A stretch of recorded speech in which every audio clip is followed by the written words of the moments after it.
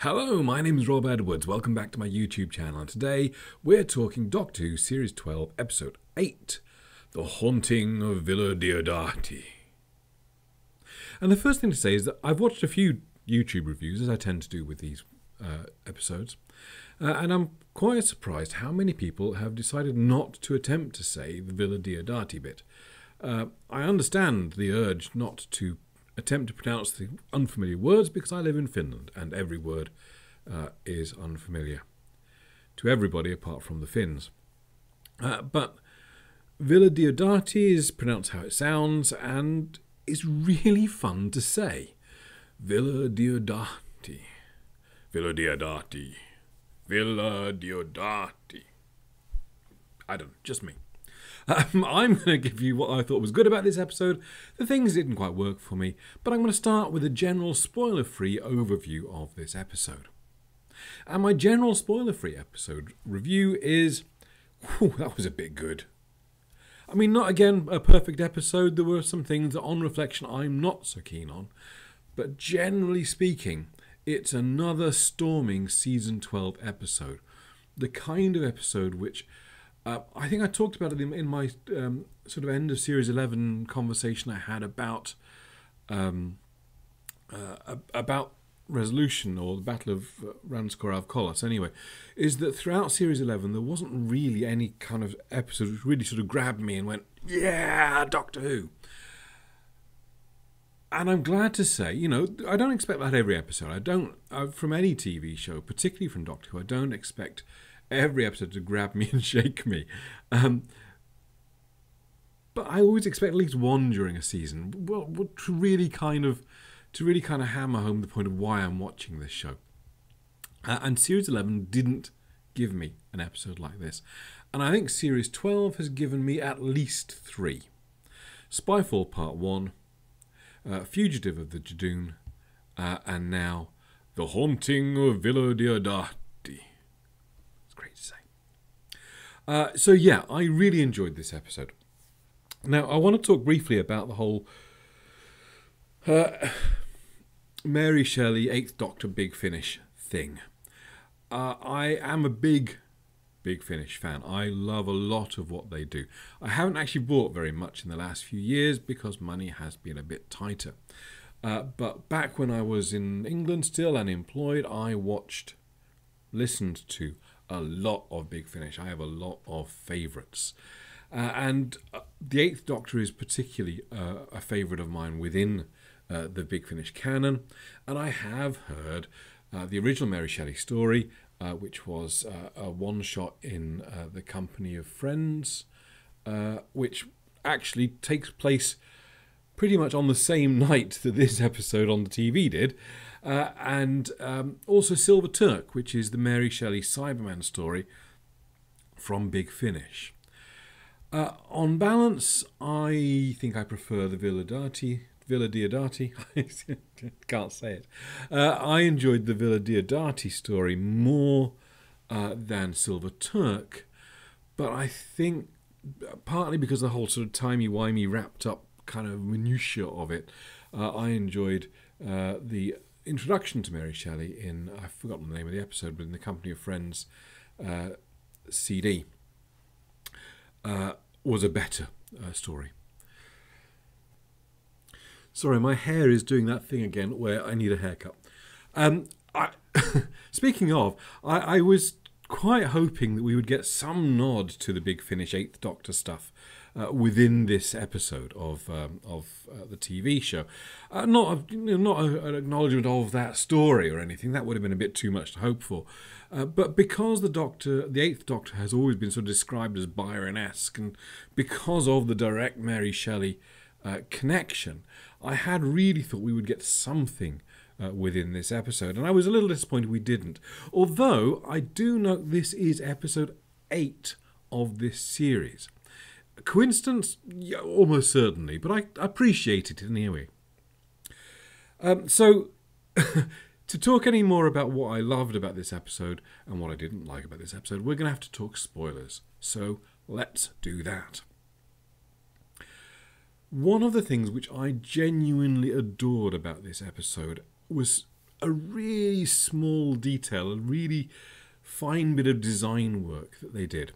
Uh, and that was the design of the uh, faceplate for the Cyberman, because the, the mouth section of it was a little wider than normal. And what it meant was that we got to see the actor's teeth through the mouthpiece. Now, this may seem like, but I love the way that emphasizes the other, not just the whole uh, otherness of his part cyber conversion, so that he's not really human anymore, but also the otherness from other Cybermen. I mean, apart from the sort of 80s Cyberman with a sort of perspex chin that you could see their mouth move when they were talking, um, we haven't really seen this kind of uh, this this juxtaposition of both the man and the uh, the Cyberman at the same time, and I love that. I thought it was really effective. In fact, the whole the whole realization of the lone Cyberman was really good. I thought the performance was great.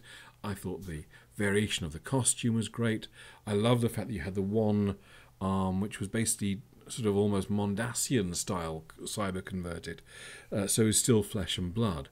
Um, and I'm curious, given that his mission was going after the Cyberium, and the Cyberium seemed to go through hands, whether actually his the, the fact that he had one fleshy human hand still uh, was a deliberate thing on the part of whoever designed, uh, which uh, you know, whoever converted Ashad uh, into a Cyberman, because I think they may have left that one hand so that he could absorb the Cyberium, which would be interesting.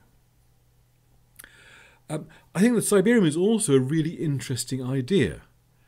Um, I think it's curious how the Cyberium, which is supposed to be this whole kind of AI um, composite of cyber history and cyber knowledge, and it seemed it didn't want to be with the Cybermen.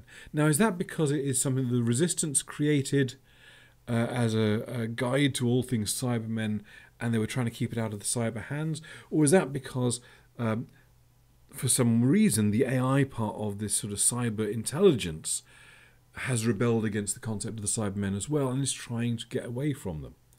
Uh, I think there's some really interesting story beats to be explored there, possibly. I thought the supporting cast in this episode were fantastic. Uh, Byron, I really enjoyed his performance. Uh, I guess the standout for me actually uh, was Fletcher, uh, the valet, a wonderful valet, so violent um, who I really loved. Uh, and actually, Dr. Polidori had a really sm- a small but enjoyable role in the piece as well. Um, but I guess the big win for me this episode, the thing which really stood out for me, uh, is that we really got an episode which focused on creating an atmosphere.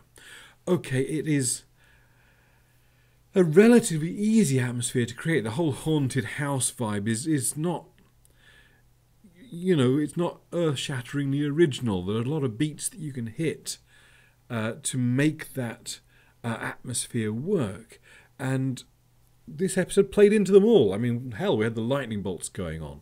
Um, and that was a quick win, perhaps, but it was effectively used, and I really enjoyed it. I was genuinely, through the early part of this episode, just a little bit disturbed by it all. I mean, not like frightened, but just a little off balance. And I thought that was really effective. Uh, I thought that the um, the the trap generally uh, with um, sort of perception filters causing people to go around on themselves and get confused and have an illusion of the house. Uh, that was really nice, and uh, uh, the explanation of it, the fact that Percy Shelley and the Cyberium were trying to keep people confused and baffled and away from him, was pretty effective as well. I'm less convinced uh, about why the Cyberium or would decide to use parts of the skeleton. Uh, that didn't seem to because the, the the effect was trying to keep people who were inside the building inside the building. So it's not like um, the skeletal hand was trying to scare people off, maybe. Or perhaps the Cyberium was just trying to kill people. I mean, that wasn't a Shelley thing, maybe, but perhaps that was part of the. Because he did say that, Shelley did say that some of what was happening in the house was down to him, and some of what was happening in the house was down to the Cyberium. Maybe it was the Cyberium that decided it wanted to attack the humans. If so, I think there's a really weird kind of what did the Cyberium really want from this episode question. So, lots of really good stuff. Lots of really good stuff in this episode. Uh, things which didn't work for me quite as much. Well, there weren't many, and they are they are all fairly kind of nitpicky. Um, the fact that we were sort of beholden to uh, you know historical reality and, and the message of you know we can't possibly lose Percy Shelley because of his words. You know that applies to Byron it applies to Mary Shelley as well. Um, it meant that the sort of core kind of writer cast uh, if you like within the episode uh, couldn't die which meant they had to introduce two other characters, the two servant characters, for the express purpose of killing them off, because we had to establish the lone Cyberman genuinely as a threat. Uh, and I didn't really notice this during the episode. This is something that that came to me kind of uh, a little bit from some people, what they've said on YouTube about this episode, a little from sort of thinking about it in context myself, and it it falls a little bit strange, a little bit artificial to have introduced characters just so we had someone to kill off.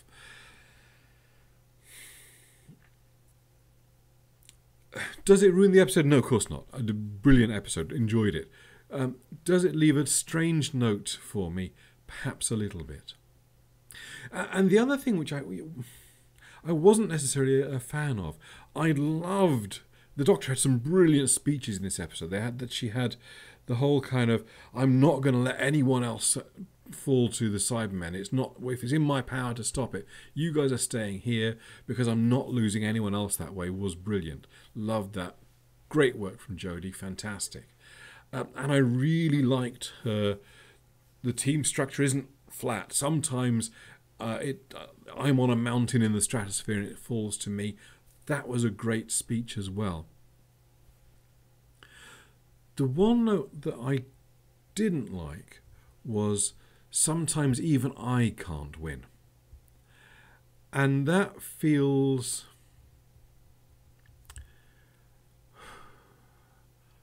That feels a bit kind of superhero for me. I'm a big fan of superheroes, generally, don't get me wrong. My debut novel is a superhero science fiction novel coming out in September, hopefully. Uh, but the Doctor isn't a superhero. I mean, a lot of the time there's a lot of the trappings of the superhero, but that line just felt a bit kind of self-conscious, self-aware, exacerbated by the fact that basically we hit that point twice. Once during the epic speech, and once when the Doctor realizes she's going to have to give up the Cyberium to the lone Cyberman. If we'd only hit it once, I didn't mind it so much in the in the moment uh, when she realizes she is going to have to give over the Cyberium. That was fine. But it was the bit in the dramatic speech earlier on which didn't quite uh, do it for me. Um, I haven't talked about the companions I've just not- noticed. Uh, I probably should say a few things about them. Uh, generally speaking, uh, they didn't have a great deal to do. Uh, I enjoyed Graham's continued role as comic relief uh, and the sort of subplot with him and the the real ghosts was a lot of fun. Uh, I thought Yaz and her moment with uh, Claire Clairmont was fine, workmanlike, but not bad. Uh, and Ryan had a few comments. Uh, actually, Ryan had one moment which I really enjoyed, which is he's going for a gun. He's going for a gun. He's going for a gun. Uh, I enjoyed that uh, quite a lot, and he got to he got to um, got to pretend to be both Eccleston and Mickey with the whole uh, hand around his throat thing. Uh, so um, that was quite fun too. So not a great sort of standout episode for the companions, but we had that last week. Um, this was uh, about the situation, the Cyberman and the Doctor, and that worked. Uh, so, I think overall, that's probably all I need to say about this. Bring on the series finale, that's what I say. Uh, I'm really hoping that we tie up a little bit more of the stuff set up during this season. I don't think we're going to get everything revisited. I don't think we're going to necessarily get the Master, the Ruth Doctor, and Captain Jack all appearing in this two part finale. Maybe one of those elements will be revisited and save the rest for season 13. Maybe. But I really enjoyed uh, this episode, and it's got me stoked for the two part Cyberman finale. Let's hope Chibnall can really bring this season home and end it on a high. Uh, thanks very much for watching. If you enjoyed what you've seen, I don't know, like, subscribe. I, I've gone all YouTube. Sorry about that.